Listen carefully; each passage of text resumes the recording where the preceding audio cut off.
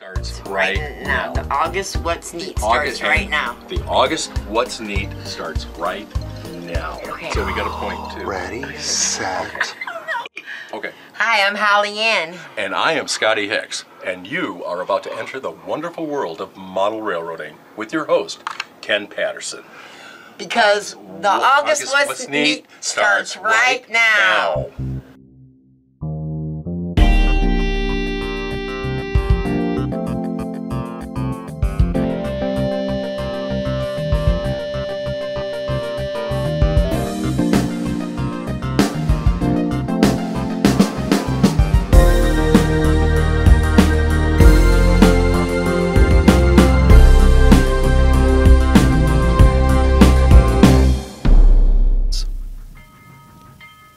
What's Neat Show is sponsored by Lombard Hobbies, your value hobby shop for over 40 years of modelers helping modelers. Big inventory, value pricing, fast shipping, and great service. And by Bachmann Trains. Now that's the way to run a railroad. Check out their website at bachmanntrains.com. And thank you for helping us support the best hobby in the world. This is What's Neat for August 2022. I'm your host, Ken Patterson, the host of this, the What's Neat Show, over at Model Railroad Hobbyist Magazine. And this month of August, we've got a really good show in that our first segment of video is Jennifer Kirk, all the way from the UK. She shares with us Trevor Jones' amazing garden railroad layout. And this is not in G scale. This layout is all HO scale, designed to be run outside. There's a lot of very interesting techniques that he has designed in order to make this happen, and it's sure to be a pleaser this month for the What's Neat video. Also this month, our drone pilot, Dan Scheidel, he shares with us some magnificent footage and modeling ideas from above, whereas we're flying over the burnt landscape of the Union Pacific Railroad in California, where trestles have been burnt down and rebuilt, where the trees are blackened from the fire. And it's absolutely amazing. And it's actually made me think about how interesting it would to be modeling a segment of layout that would represent what it is we see in this drone footage. Because the way it's filmed from the air at just the right heights and the way we view our layouts, it's very easy to understand how to build our scenery to look just like that. Plus, there's some amazing nighttime drone footage. Now, when do you ever see folks flying a drone at night? With the mountains and the blueness of the sky, I've seen so many people put blue lights on their layout to represent darkness, and you can see that hue of blue in this nighttime footage as the ditch lights and the headlights on this Union Pacific main line light up all the territory in front of the locomotive. Also this month, we've got a great segment from Larry Harrington of Bachmann Industries out in Philadelphia, Pennsylvania. He shares with us, again, some amazing new products from Bachmann. It's always a pleasure to find out what's new first on the What's Neat show that we run every month. I'd also like to talk about the What's Neat This Week podcast. As you've heard me talk about it before, it's a show that we shoot every Saturday night down here to keep you updated on what's new in the hobby. We just recently passed a milestone of show number 200, whereas we reflect on all of the 132 guests that we've had in the past on the show and the more than 90 something manufacturers products that have been represented on the show. You can look this up on the what'sneat.com index, whereas you can guide through and look at all the personalities and their names and their photographs and all the subject matter that we have covered, broken down per week, per month, all the way through. It's an absolutely amazing website to check out at what'sneat.com. It's an index for just that. And so with that, I'd like to say let's continue on with the rest of this August 2022 What's Neat.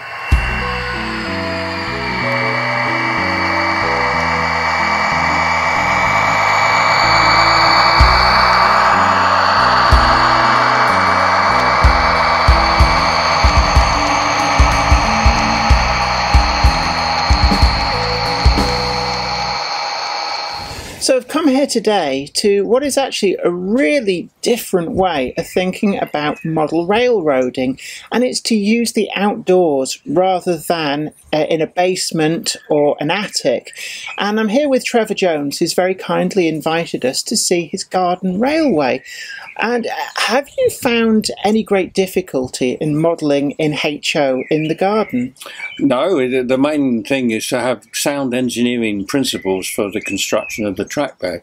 And I've used reinforced concrete with piles um, every three or four feet, and then a topping uh, which I did developed using three grades of cork chips and some rubber chips, cement, and SBR.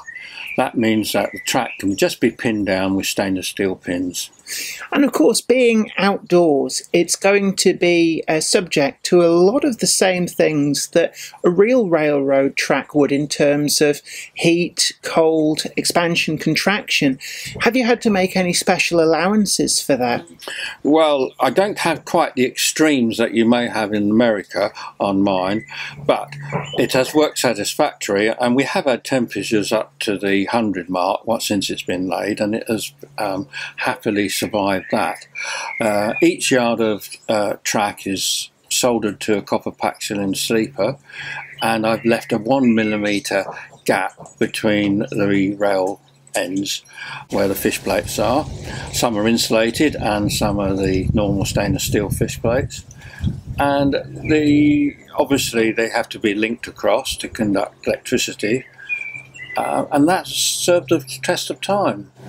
And I think what uh, quite a lot of model railroaders think about when they think about building a layout outdoors is that it dominates the garden space. And one of the things that's really quite apparent here is that you've made the railroad very much a feature within a garden rather than being the main feature itself.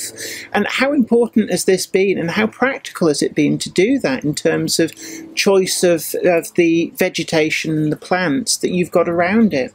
Well, you have to choose your plant material carefully, and of course, there's a terrific range of alpines that you can plant, and dwarf trees which are bonsai like, but there are specialist nurseries that provide them grafted onto rooting stock. And if you plant them in cut small holes and, and crevices in rocks which you've used to build around the railway, this will help restrict them as well. And how practical have you found it running HO scale trains in the garden uh, for the, the actual the locomotives, the freight cars, the passenger stock? Has, has it stood up quite well? Well, I haven't had much problem with the stock. Obviously, the track has to be kept very clean.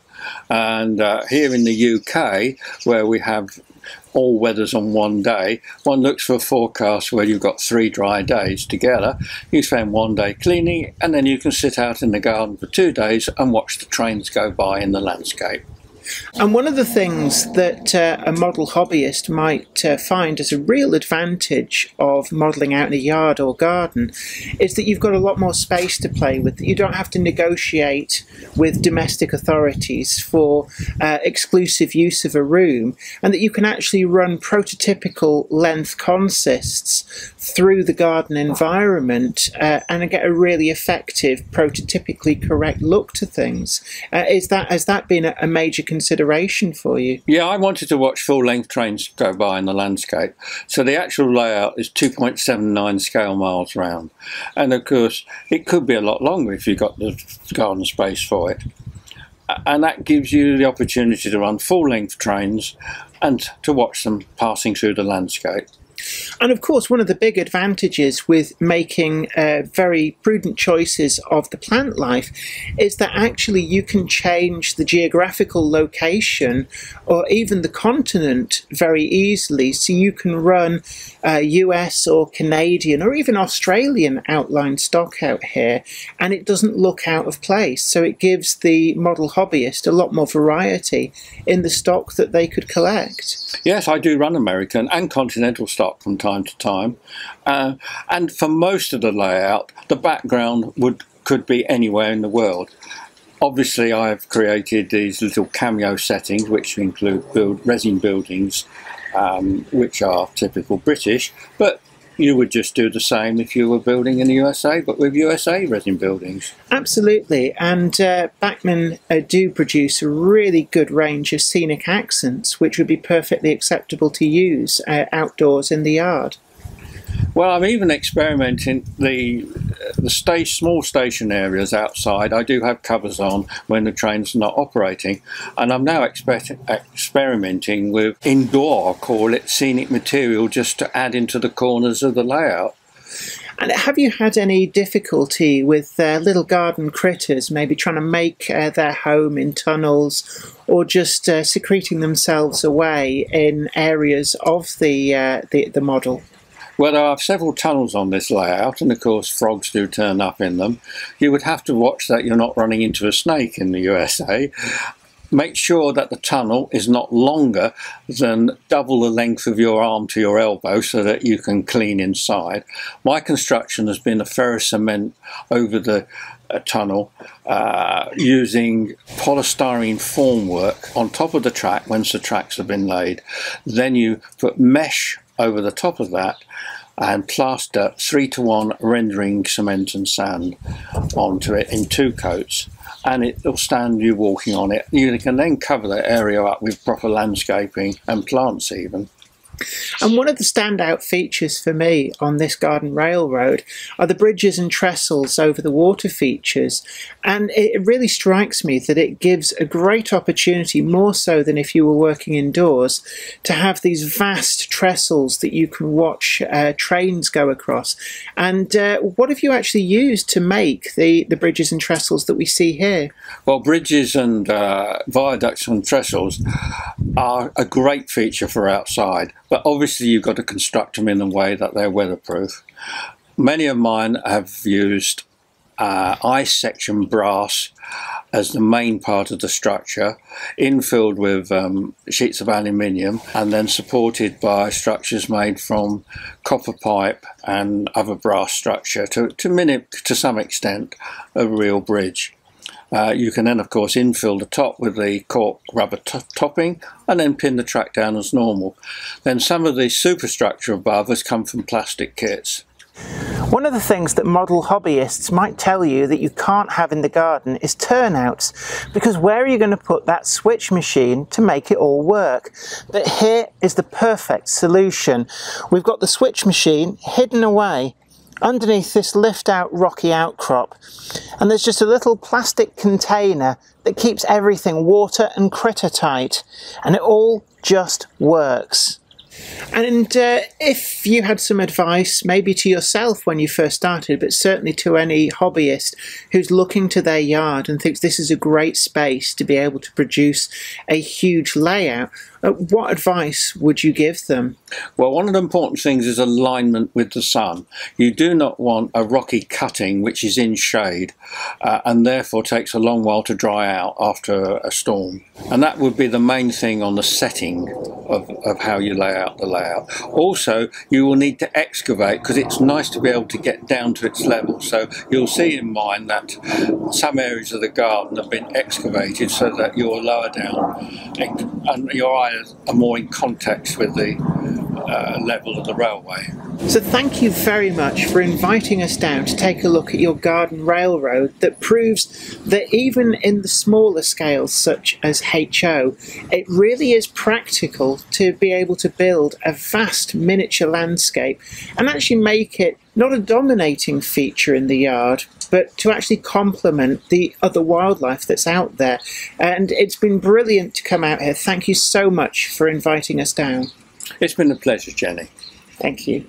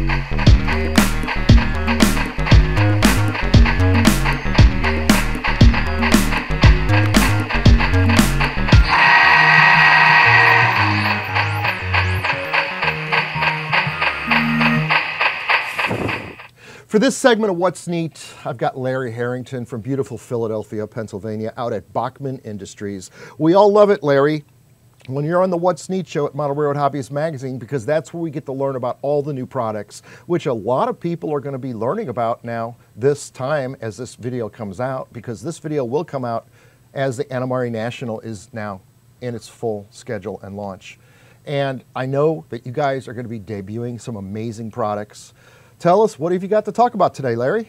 Well, today I can't talk about the top secret stuff ready for NMRA, but I'll um, I'll, I'll, share some uh, paint samples we got in over the last couple of weeks, and uh, it's a, variety of um, scales and sizes here. So, um, start off with we have a continuing to expand on our Ringling Brothers line. Um, we have the this is the pie car for the blue train. Nice. And uh, I don't know exactly how many products we've done over the years, but it's, it's been a good number.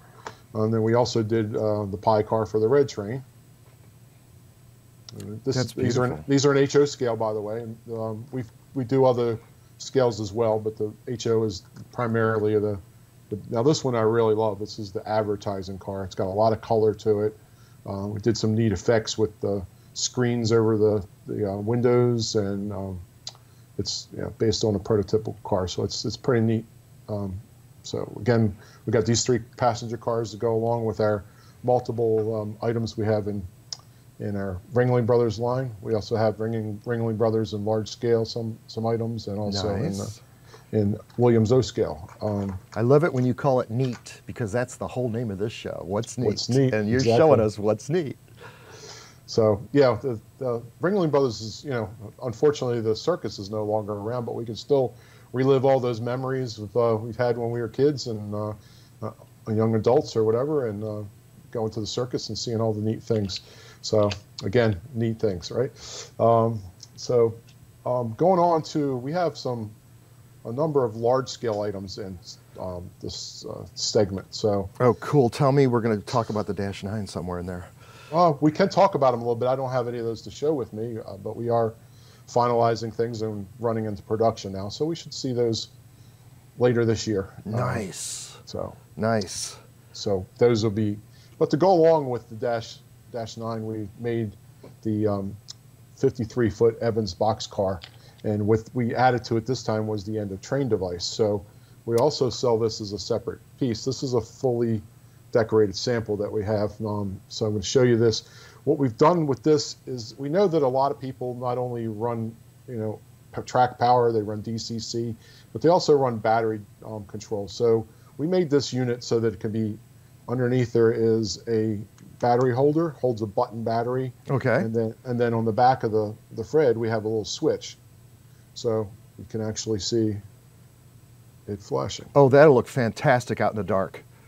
Yes, and what's neat about it is it will work on track power if you do have track power, and it, it will it will automatically switch as long as the switch is on where the light is active.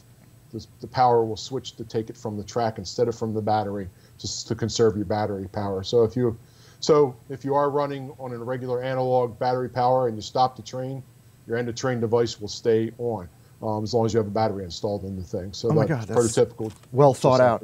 Because it's not so, just, you know, folks run their Trains USA and they run their old Aristocraft and so many other different large scale cars, and you can adapt this set of trucks to them. Right. This truck is, is sold as a single unit with the all the electronics already installed. Um, it has, we, it's a, since it's an end of train, it's a dummy coupler. It doesn't operate. It will couple up to another um, coupler trains. Okay. But we what we did is we hid all the the wiring and electronics inside of the coupler so that you don't have any unsightly wires or anything um, when you train or anything to get snagged going out in the garden while you're running the train. So, that is awesome. Now that's cool. So switch is real easy. You just turn it off on the back and there we go. We're set.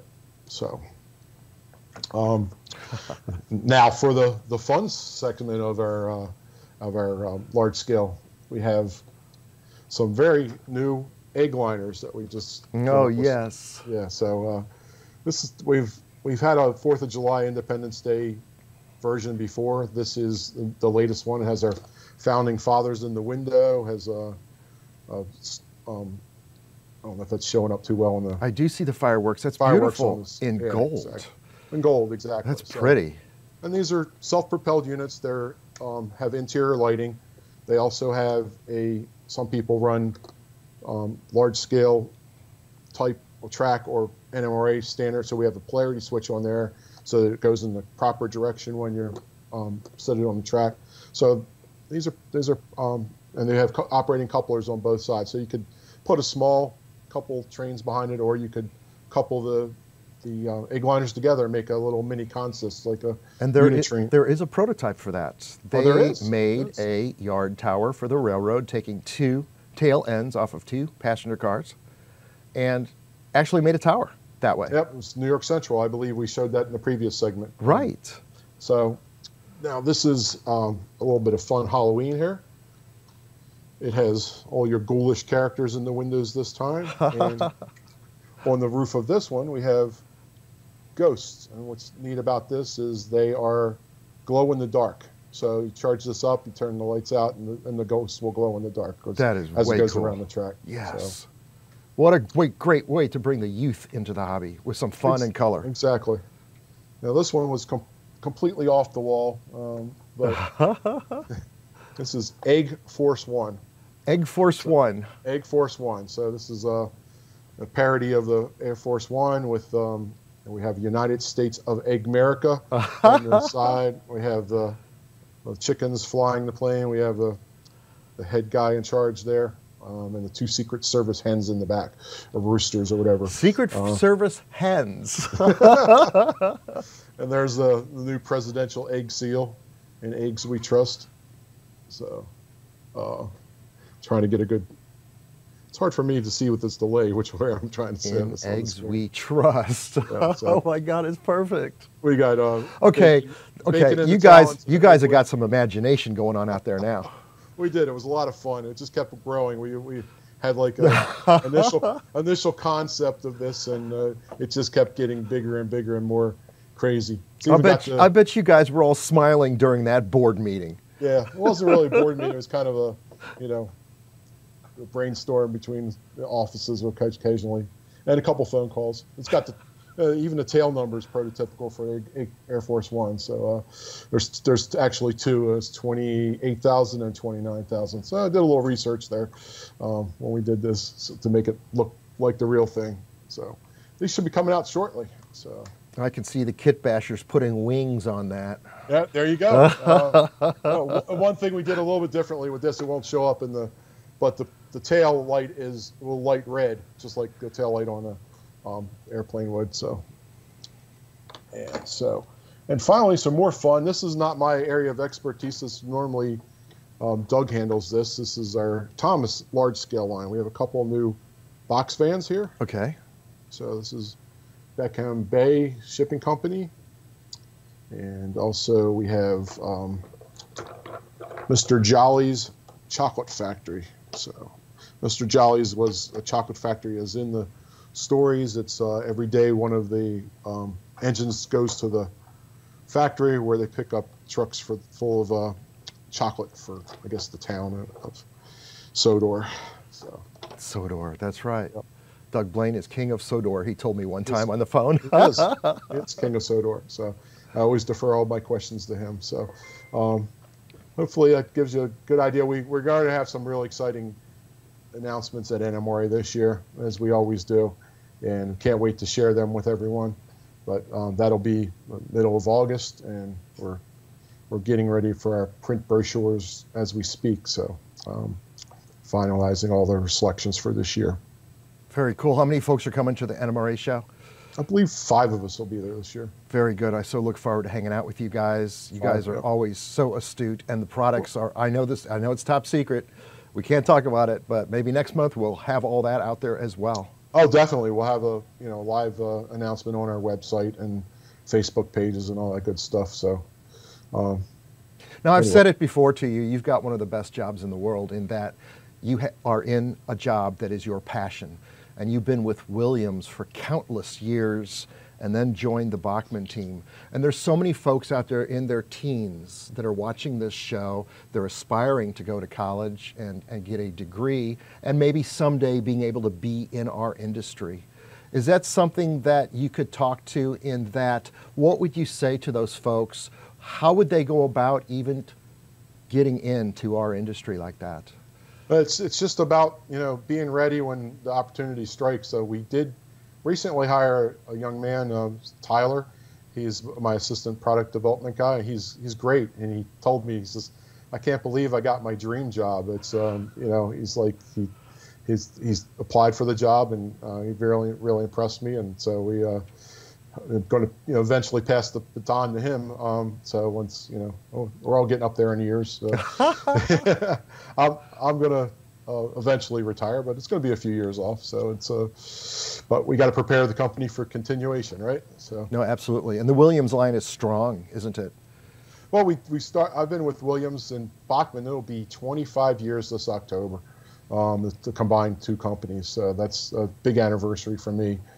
I originally started in the um, associated with the train business with Lifelike products in Baltimore before right. Walthers purchased them. So that was my first job. Um, I had uh, some. Uh, I was working as a production planner for an associated line with the. We had a line called I don't know if anyone knows about Darda race cars. They were um, like matchboxes that have wind-up motors and they were stunt sets. So I was, that's that's where I start. But we all had product meetings that covered the entire line for trains. Um, you know, we had also we had styrofoam coolers and stuff too at, at that location. So um, we, you know, talked. I got to be in on the conversations with the trains when when it happened, and then, right.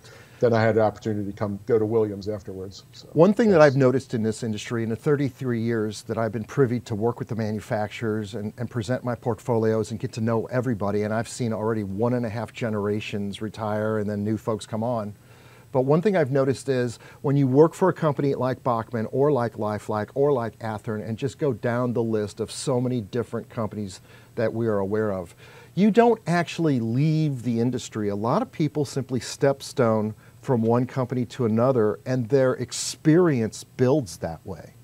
Exactly. Yep.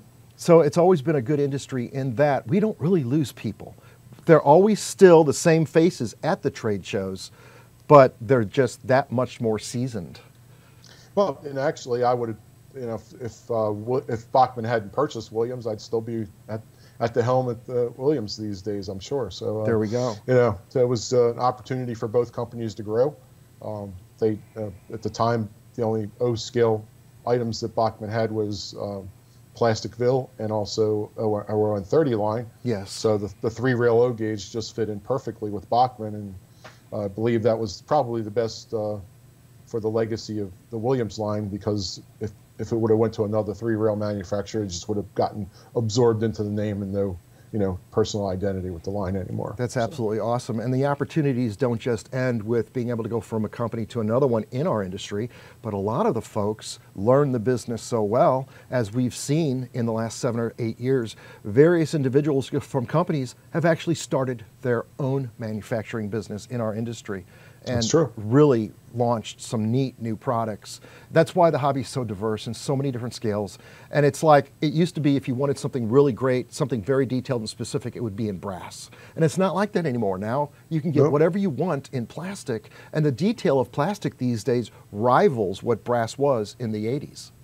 Well, you can get whatever you want if there's enough demand for it. Uh, there's still there's still definitely room for brass in the market because of the startup tooling costs for the items are so much less expensive. It's uh, the unit cost is usually more expensive to produce, but when you consider the cost of making tooling for something, it has to be considered in the, the final price, and that's not always um, a good business decision to do that. So. And the next revolution that I'm sure makes your job that much quicker and easier now is this 3D printing to create prototypes much quicker than cutting die work and then recutting the die work with changes. Would you agree? I I do agree. We uh, used a good number of that for the development of our N scale charger. Um, yes. Get, so we we we printed some 3D parts in order to test the fitting because it was such a you know much smaller um, locomotive to work with than the HO version. So we had to get make sure we could get the electronics and the speaker and everything in there, and um, you know work all all conjunction. So we're we're excited. We're well past that stage now. We're um, we've actually have you know test test painted samples. I, I showed them in the last what's this? It's probably airing right around now. Those are beautiful. Um, yeah. Yeah. So. I've got the HO scale chargers, the three yes. different various paint schemes here on the table, and on every podcast when we end the show, we always say, "Let's go run some trains," and more times out of not, the folks grab these off the shelf. This is a locomotive they want to see simply because the lighting effects are so amazing. It's just, it's just like the real thing. No, the lighting effects, the sound, everything is 100% authentic with those locomotives. Uh, there's, there's even a feature with the strobe lights. Um, we've had customers call that didn't fully read the manual about the strobe lights. I can't get my strobe lights to come on. Well, in the real locomotive, the prototypically the strobe lights are only on when the headlights at full brightness and the ditch lights are on. So if one of those two is not on or fully full full brightness, the strobe lights don't come on, just like the real locomotive. So That's we program that into it. So. That's amazing. It's very important to read the instructions, and the instructions exactly. that you guys write are very thoroughly thought out. Well, thank you for that. So this is the best hobby in the world, and you know what? It's because of folks just like you, Larry. Is there anything else that you might want to say to close out this segment of the August What's Neat video?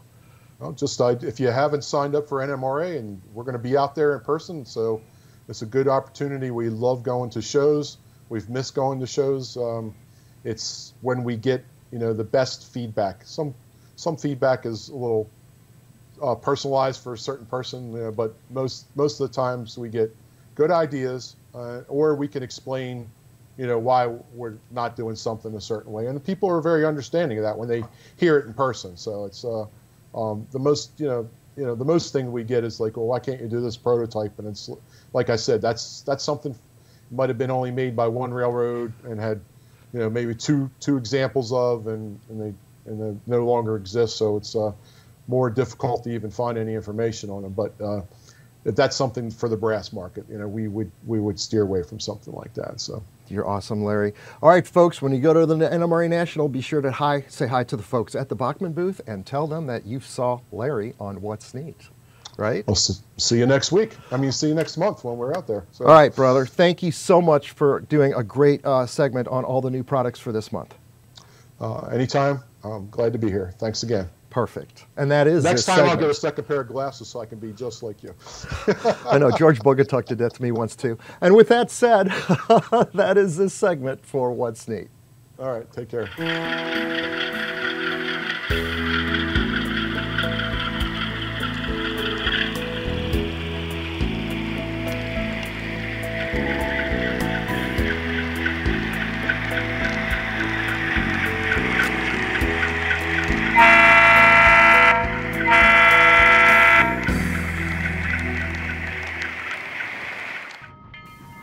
All the products seen on this episode of What's Neat are available from Lombard Hobbies in Lombard, Illinois, or order online at lombardhobby.com.